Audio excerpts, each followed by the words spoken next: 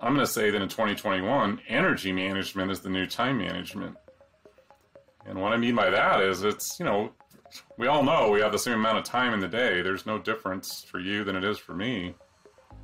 Not necessarily how well we manage the time, it's how we, we manage our energy throughout the day.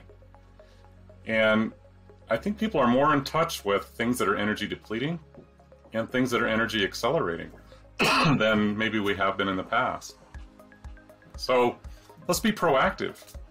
Let's understand what drives our energy forward, what pulls it away, and plan our days and weeks and activities so that we have energy left at the end of the day. I forget who said this, it's one of my favorite quotes.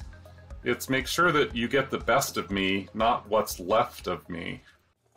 Hey, thanks for joining me today on Titans of Transition.